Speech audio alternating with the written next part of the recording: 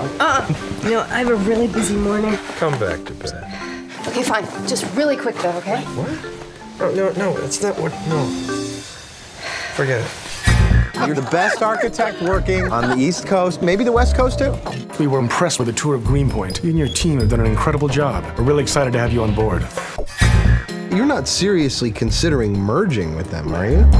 It, it would double our revenue and allow us to compete for projects that we really would never have access to. Catherine's really excited about it. This is so important to Daddy. This means everything. Why don't you sound excited about it?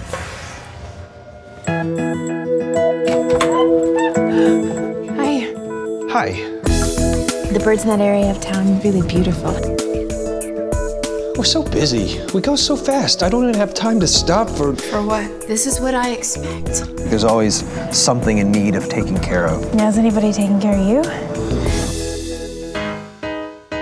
I spend my life following along, and me signing with this company is more of us just following along. This is an opportunity of a lifetime. No, no, it's not.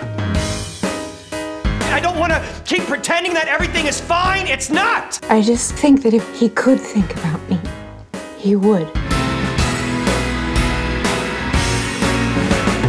From the time we were kids, we were taught not to be afraid. The one thing we all pretend not to be, and probably the only thing we all are. Do you have any plans tonight?